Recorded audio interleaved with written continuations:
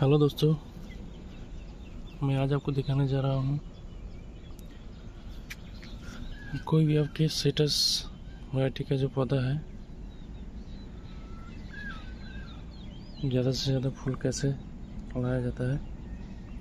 ये देखिए, ये एक दस दस इंच शायद होगा।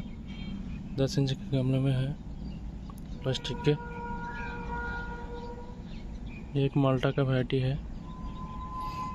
देखिए इसमें कितना सारा फ्लावर आया है। हर एक डाली में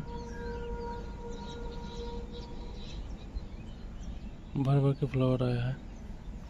इसमें फ्रूट भी सेट हुआ है। देख सकते हैं।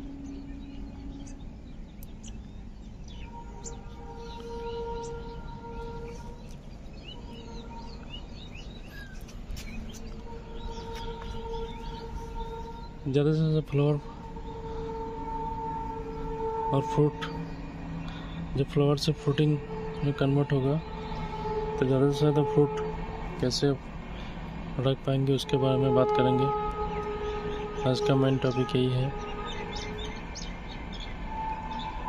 कुछ दिन, दो तीन दिन पहले पूरा बूंदाबांदी में पौधा गिर गया था। बहुत ज़ोर से आंधी आया था। आंधी या तूफ़ान के वजह से। इसके वजह से कुछ फूल इसके झड़ भी गए हैं। ये हवा में इसको गिरा दिया था पूरा पौधे को आपको जो बोल रहे हैं, आपका पौधा का हेल्थ सबसे ज़्यादा ज़रूरी है। अगर पौधा का हेल्थ आपका ज़्यादा अच्छा है तो आपका फ्लावर से फ्रूटिंग में कन्वर्ट ज़्यादा होगा और फ्रूट ज़्यादा टिकेगा भी, गिरेगा नहीं, ज़्यादा टिकेगा। तो फ्लावर से फ्रूटिंग में कन्वर्ट होगा, वो बड़ा भी होगा, ड्रॉपिंग नहीं होगा। अगर पौधा छोटा है तो।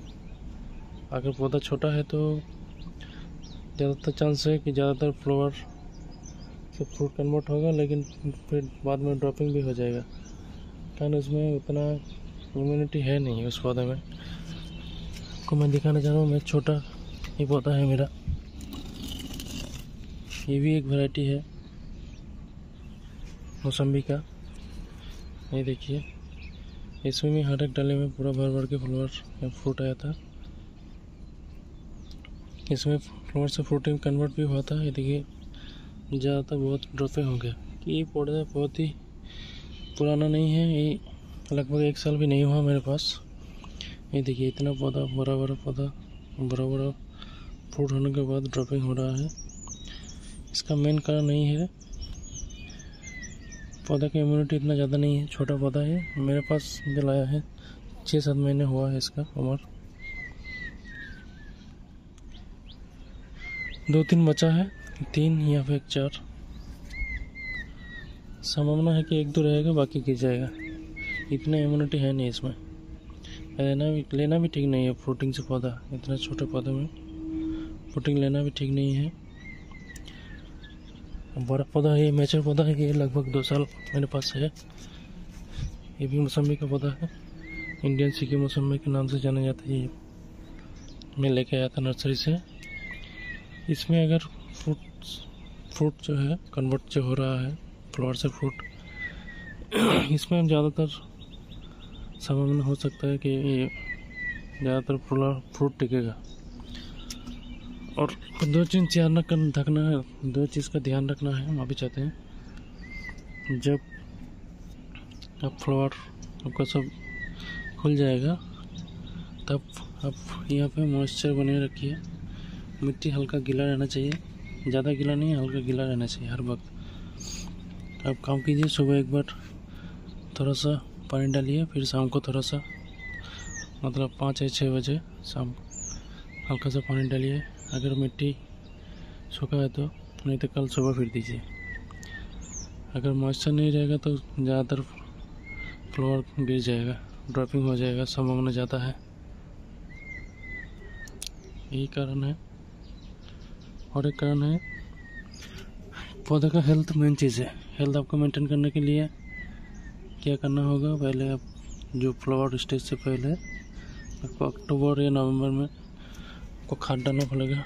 मिक्स फर्टिलाइज़र जो होता है, वर्मी कंपोस्ट उसमें साथ थोड़ा सा नीम खली थोड़ा सा सरसों खली का पाउडर और बोन मिल भी डाल सकते हैं आप। थोड़ा सा बोन मिल या कोई भी हड्डी का चूर्ण डाल सकते हैं उसके साथ। और थोड़ा सा उसमें लाल पोटास लीजिएगा। और मतलब थोड़ा सा मतलब एक चम्मच, छोटे चम्मच के एक चम्मच, ये दस या बारह इंच के टॉप के लिए, और पंद्रह से बीस दाना डीएपी का ले लीजिएगा। नाइट्रोजन उसमें मिल जाएगा, वर्मी कंपोस्ट। मैंने दिया था। ये देखिए मधुमक्खी, आप देख सकते हैं कि नहीं? देखिए कितना सुंदर लग रहा है। ये फल का रस चूस रहा है मधुमक्खी।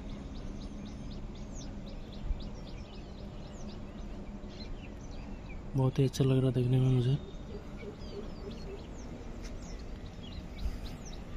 ये मेरे सामने आया मैंने देखा था, लेकिन फ़ोटो के अंदर या वीडियो के अंदर कैद नहीं था कि पहली बार। पहली बार मैं देख रहा मधुमक्खी रस चूस रहा ये देखिए। ये नेचुरल पॉलिनेशन है आपका। ये अगर नहीं रहेगा तो शायद पॉलिनेशन में बहुत ही इफ़ेक्ट पड़ेगा। हर किसान इसका शुक्रगुजार है। मधुमक्खी का। नेचुरल पॉलिनेटर है हम लोग का। आपके गार्डन में अगर ये दिखाई दे तो इसका स्वागत कीजिएगा। कहीं भी इसको भगाई मत। ये काटेगा नहीं आपको। ये खाली अपना पॉलिनेट करने के लिए एक पौधे से एक फूल से दूसरे फूल में जाएगा तो आपका पॉलिनेशन ज़्यादा अच्छा होगा। उससे फ्रूटिंग फ्रूटिंग में कन्वर्टेशन ज़्यादा होगा जो मैं बोल रहा था यही सब आपको करना है फल से फ्रूटिंग कन्वर्ट होने के लिए। आपको हम बाद में दिखाएँगे इसका अपडेट जर, ज़रूर देंगे। ऐसे अगर वीडियो में वीडियो आप लोग देखना चाहते हैं तो मेरे चैनल से जुड़ा रहिएगा। लाइक और सब्सक्राइब करिएगा ज़रूर। Thank you for watching